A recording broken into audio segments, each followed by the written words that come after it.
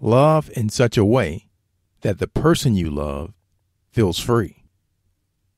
And that is the thought for today.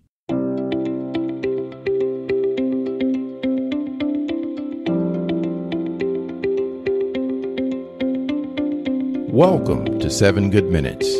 I'm Clyde Lee Dennis. Thanks for joining me for what I believe will be seven of the most enriching minutes of your day. In today's audio, we hear 12 foolproof plans that indicate you're in a healthy relationship. Enjoy.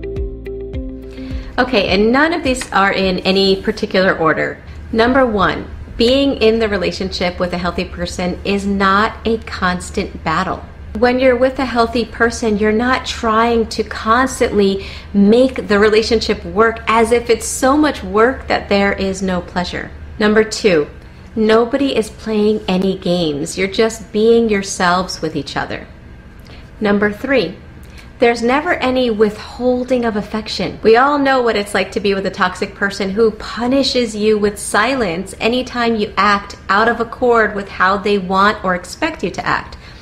A healthy person accepts you as you are and doesn't punish you for being you or for noticing things or for bringing things up or for having emotions. You feel comfortable sharing with a healthy person, knowing that they're not going to judge you or use your imperfections or mistakes in the past to hurt you in the future.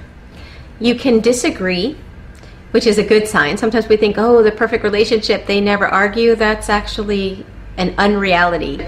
You argue because you feel comfortable enough to disagree. You feel comfortable enough to share your viewpoint when it differs from the other person's. But with a healthy individual, there's resolve at the end of the disagreement. It doesn't just go on and on forever and then everyone just decides to not talk about it anymore in, a, in an effort to just move past it. No. In a healthy relationship you talk about it you work through it you compromise and you care about the other person's point of view. It's a healthy relationship if he or she doesn't text you back and your mind doesn't take over and drive you crazy with ruminating thoughts in a healthy relationship, there's healthy, open communication. You listen to each other. You empathize with what the other is saying or what the other has been through. You care about what they're saying. It goes back and forth. It's not like one person is collecting information and going to use it against you in the future. And it's not like they're using communication to indirectly hurt you like covert narcissists. No. Communication feels good with this person. You feel comfortable in your own skin and you also feel like you're receiving who this person really is. They're able to communicate with you as well.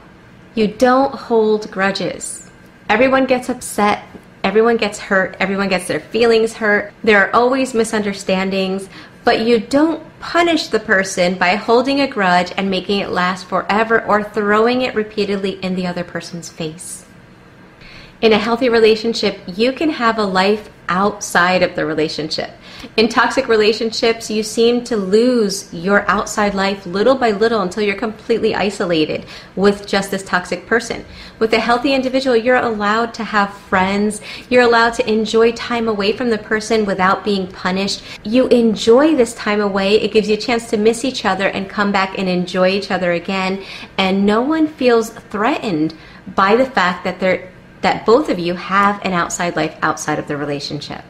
Speaking of being able to have a life outside of each other, you trust each other. When the other person is away, you're not constantly stalking them or wondering what they're doing or fearing that they're doing something that's going to hurt you. Healthy couples are able to spend time away from each other without worrying about where the person is or who they're with. Another sign of a healthy relationship is that you enjoy spending time together. When you're in a toxic relationship, you're so busy trying to make the other person happy that you don't even have time to think about whether or not you're happy. So if you're wondering if your relationship is healthy, pause and ask yourself a few questions. What's my favorite memory with this person? How often do we laugh together? Are we happier together or are we angry when we're together? How do I feel when I'm around this person? Does he or she bring me up or bring me down? Am I a better person because of this relationship? Am I happier because of this relationship? So, in other words, Put that focus back on you. Ask yourself these questions. And honestly, that is huge because if you're in a relationship with a toxic person, you probably never ask yourself that question. You're too busy ruminating and trying to please an unpleasable person. So pause.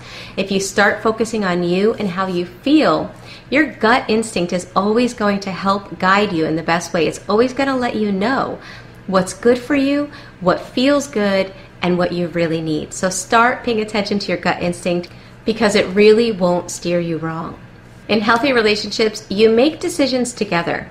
There's no dictatorship in the relationship, but rather important decisions are made together.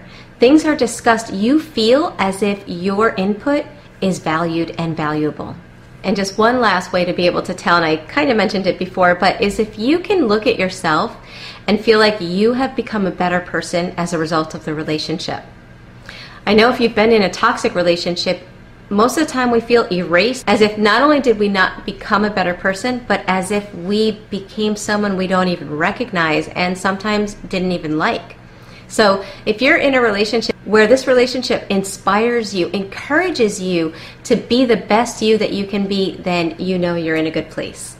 And if you don't have these things, don't settle for less. Don't make excuses like, oh, well, the person I'm with isn't quite like that, but it's because they had a rough childhood, or it's because they're still getting over this or that, or it's because they don't mean to be like that. They're just, they have a, you know, they have this problem or that problem. If you're excusing bad behavior, if you're excusing hurtful behavior, then you're lowering your value in your own eyes, and sadly, it's going to be lowered in the eyes of the person you have a relationship with. So raise your self value and raise your standards because you deserve to be with somebody that makes you happy and that obviously you can make happy as well. Please keep in mind, this is about half of the entire presentation. If you're up for a treat, you should definitely listen to the whole thing. You can do so by clicking the link labeled View the Full Video on YouTube in the show notes. So that does it for this episode of 7 Good Minutes. Until next time, let's be civil to one another out there. Thanks for listening.